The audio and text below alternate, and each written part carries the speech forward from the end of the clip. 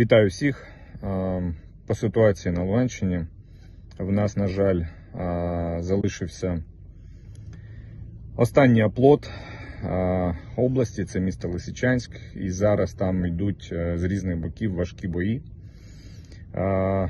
Російська влада кинула е, багато резервів, багато техніки, особового складу для того, щоб максимально стислі терміни захопити місто. Лисичанськ.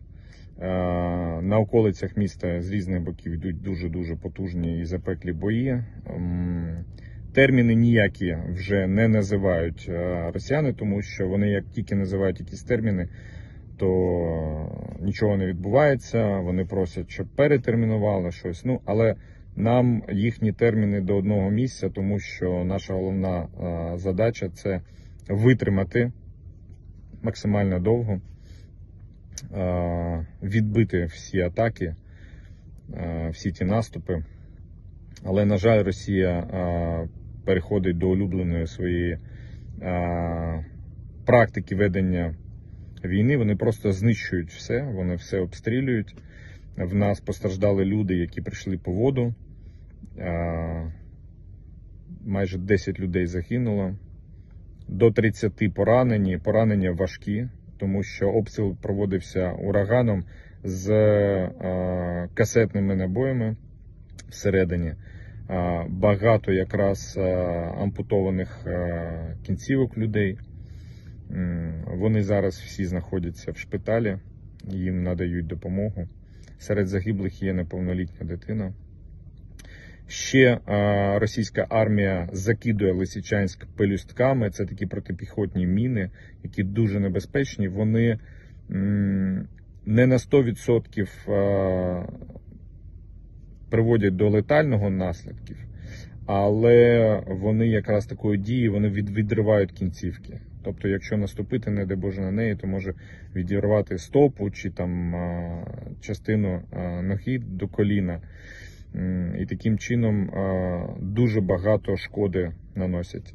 Місто, особливо район РТІ, закинено повністю отакими полістками. Ми розуміли, що Росія буде так потужно обстрілювати місто, тому завчасно завезли все ж таки певну кількість гуманітарних наборів, щоб вистачило людям видавати щоб вони автономно, без нових а, постачань, все ж таки змогли протриматись декілька тижнів. А ми будемо намагатися все одно привозити щось. Те саме стосується і медикаментів. Я особисто поспілкувався з лікарями.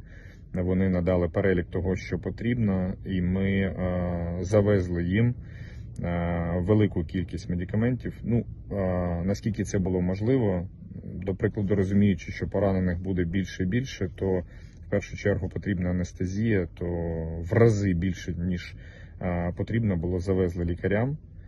Вони можуть так само автономно триматись певний час.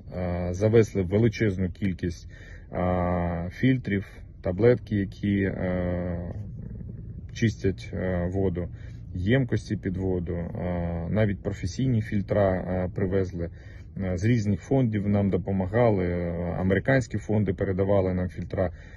Все це ми завезли в Лисичанськ, все це є наявності, але, на жаль, обстрілюються склади. Так само росіяни чітко розуміють, куди вони стріляють. В нас був обстріляний наш потужний центр прийому гуманітарний наших вантажів, побита техніка водій поранений, але слава Богу, слава Богу, всі живі. Єдине, що один водій у нас дійсно поранений, відвезли його вже в лікарню. Тобто вони навмисно просто намагаються перерізати доступ гуманітарних вантажів якоїсь допомоги для жителів Лисичанська. Дороги, ну знаємо, Лисичанськ, Бахмут взагалі не проїзна. А в нас була альтернативна дорога. Авіація розбомбила міст, не користуємося цією дорогою. Є можливість ще постачати певні вантажі в Лисичанськ. Але от два дні ми не можемо поки відправити машину, тому що дуже потужні обстріли йдуть всіх напрямків, тому ну це просто вкрай небезпечно. І зараз, на жаль, якраз та ситуація, коли е, я вже говорю не про евакуацію, а говорю про те, щоб люди все ж таки більше залишались в укриттях е, і таким чином врятували собі життя. В постійному зв'язку з нашими військовими, які підрозділи це не знаходились, різні бригади, е, і Збройні Сили України, і Нацгвардія, е, і поліція, всі, е, наскільки це можливо, отримують те, що вони просять. Будь-яка допомога, чи це транспорт, чи це якісь квадрокоптери, чи це там ще певні специфічні е, речі. Все, що їм потрібно, від будівельних матеріалів до гаджетів, вони отримують. Е, Звісно, що ми так само не чарівники, але навіть е, вкрай дефіцитні речі, які коштують сотні тисяч євро, ми віддаємо нашим захисникам. Тому що ми розуміємо, що зараз на них покладена просто шалена відповідальність. Зараз на них е, кинута вся оця орда російська, е, яка там є, особовий склад техніки. Е, Техніку використовують, до речі, вже навіть не 64-ті танки, а 62-ті. Це взагалі, ну навіть не вчорашні, там я не знаю, позавчорашній день. Але, ну знаєте, 10 танків це все одно 10 танків, навіть якщо вони застарілі. Так от кидають якраз стару техніку, це говорить все ж таки про те, що і навіть в такій величезній країні, як а, все одно закінчуються резерви. Я не пам'ятаю, хто сказав про Росію, що вона не потужна, вона слабка. І своя, в своїй агресії вона і показує, що вона слабка, але вона просто дуже велика. Дуже багато народу, дуже багато техніки. Так застаріло, але все одно це важка техніка. Але те, що вони використовують вже 62 танки, це говорить про те, що все ж таки не так а, в них і чудово йдуть справи, як вони розповідають по своєму телебаченню. Закінчується і в них нормальна техніка, закінчуються і в них люди. Але єдине, що, на жаль, гинуть і наші захисники. Тож робимо все можливе для того, щоб е, допомагати їм.